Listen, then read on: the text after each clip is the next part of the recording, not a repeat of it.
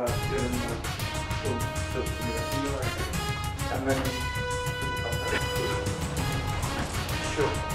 불러주시는 분이 시간 바뀌었어 동의를 동시에 우리가 굉장히 아까 보니까 많이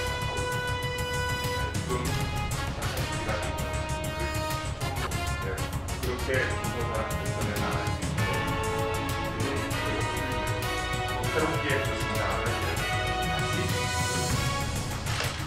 조선산업 경쟁력 강화 방안을 9월 말까지 수립을 해서 우리 조선산업의 한 단계 도약을 위한 발판을 마련하도록 하겠습니다.